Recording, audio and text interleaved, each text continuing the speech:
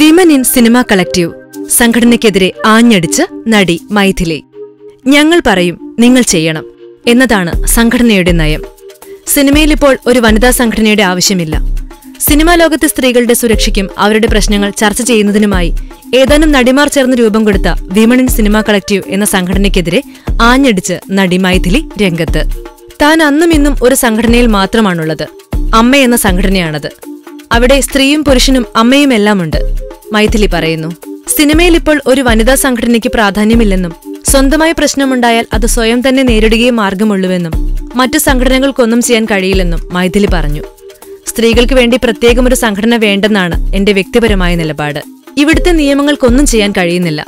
നിയമങ്ങൾ മാറ്റി എഴുതേണ്ടതാണ്. എങ്കിൽ മാത്രമേ വരുന്ന തലമുറയ്ക്കെങ്കിലും രക്ഷയുണ്ടാവുകയുള്ളൂ. പുതുതായി രൂപീകരിച്ച സ്ത്രീ സംഘടനകൾ തന്നെ സമീപിച്ചിട്ടില്ല.